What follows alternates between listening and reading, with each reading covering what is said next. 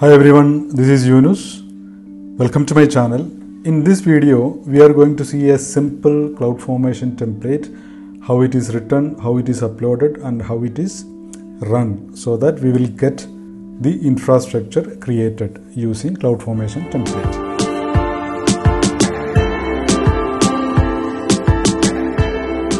As you know, CloudFormation is an infrastructure as code tool or IAC tool. There are many in the market, including Terraform, etc., which can be used for multiple clouds. But CloudFormation is the infrastructure as code tool from AWS.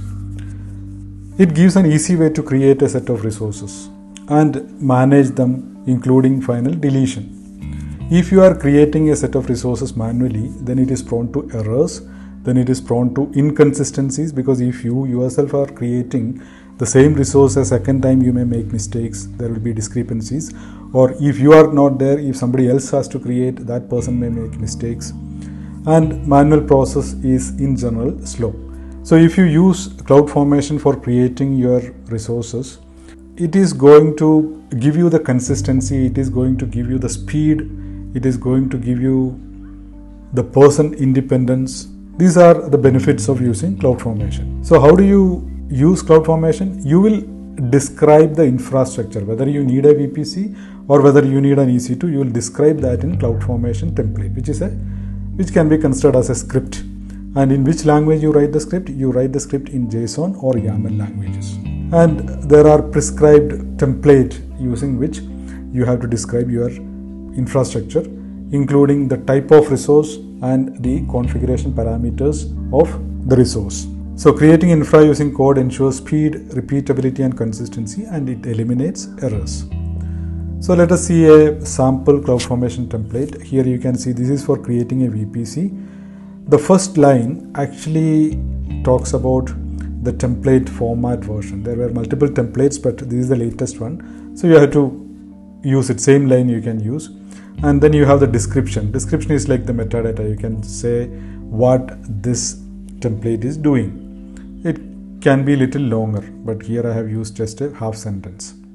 Then you have to include resources. This is the only mandatory part of CloudFormation template because you need to describe the resources right? Otherwise what are you going to create? So under resources you have to give a name an id for the resource you are going to create and then you have to say the type. So here the type is vpc and if you are wondering okay how you can remember this or how do i know what is the resource type of vpc or ec2 or security group? There are enough and more documentation available. You can refer to any of them. There are many sample uh, CloudFormation templates as well. You can refer to them. So that is not at all a problem. Then in resources you can see um, the type then the properties. Properties nothing but the configuration parameters. If you are going to create a vpc definitely you need to mention what is the CIDR block. It is 10.0.0.0 slash 16 then a few other configuration parameters i have included. And finally i have included a tag name and my vpc so you can give any name. And in this particular website there are like hundreds of CloudFormation's code snippets available okay? So you can go to this page. I am going to give this link in the video description so no need to worry. So if you go here you can actually see a number of snippets which you can use either using json or yaml. So let me close this. And uh, what we are going to do next is let us actually create a very simple small CloudFormation template to create a VPC and then let us see how it works. That's it. Okay so let me go to the console. Okay and uh, CloudFormation how do we reach here? You can type CloudFormation okay click on this. Okay to create a stack. Stack is a set of resources you are going to create using CloudFormation template. So first you have to click on create stack and with new resources. If you want to import the existing resources under a CloudFormation stack, you can do that, but that is not what we are going to do in this lab. Let me create a new CloudFormation stack using new resources. Then it is asking, is, is the template ready? Actually, it is not yet ready, so let me get it ready. For that, I need a terminal. Okay, I have opened my terminal. So in this folder, I'm going to create a CloudFormation template. I'll give you this code as part of the video description. So no need. I'm going to copy paste for the time being, but definitely as I said, you will have the code in the description. Okay. Now let me save it and then let me take you through the code. First you have the template format version, then the description. You can add anything. Then parameters. Parameters is nothing but the variables. Here I am using a variable for entering the VPC name. Okay. It could be anything. Um, I can hardcode the name also, but I have used a variable. So you can see that the variable name is VPC name parameter. It's a string and the default value is VPC 101 but these values are allowed and then it is also giving a description which will appear as a instruction to the user in the CloudFormation page. It says enter VPC 101, 102, 103, 104.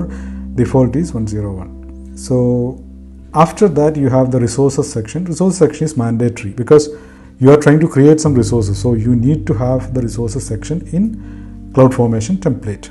So here this is the same thing I showed you as part of the slide I'm creating a VPC called my VPC. This is the resource type, properties, CIDR block and enable DNS support and enable DNS host names. Then I'm giving the tag name. So you can specify. So here you can see that I'm using instead of hard coding something, I'm saying whatever value the user selects for VPC name parameter variable, the same thing I will use as the name. And then outputs, that is another section where it actually outputs the ID of the VPC, VPC ID. Okay, so you can see that value is reference my VPC. Reference means it, it says, okay, please take this variable. Where is the variable? This is the variable, my VPC. So this my, my VPC will be populated with the VPC ID once it gets created. Okay, so I'm done with my CloudFormation template. Let it be here. I'm going back to my console and saying template is ready did you upload it into S3 URL? I did not. So I'm going to upload it directly from my laptop. Choose file. Okay, vpc.yaml. Okay, once it gets uploaded, go to next. It is asking you to enter a name. I will say my vpc1. This is the stack name, okay, not the vpc name because in the same stack you can have one VPC, one EC2, one security group, etc. So this is not a VPC name, this is the stack name. Then it is asking VPC name parameter. What do you want to choose? 101, 102, 103. If you don't choose anything, default value is 101. But I am going to choose 104.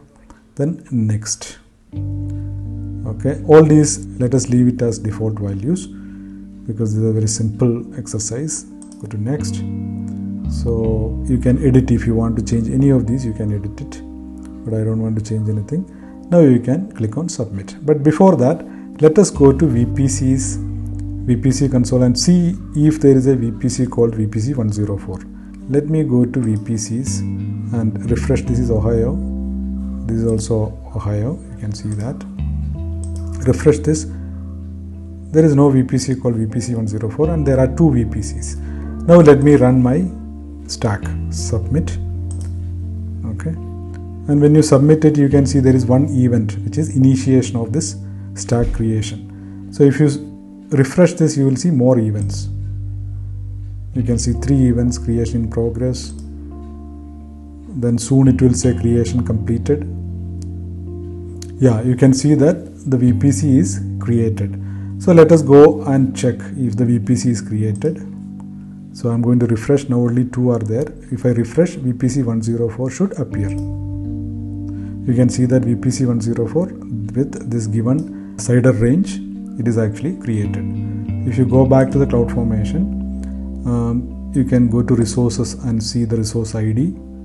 Okay, so this is the resource which is created which ends with 245 you can come here and see ends with 245 and if you go to outputs the VPC ID will, will be outputted since we had included the output section. Then parameters, the variables, whatever we have used, it will appear here.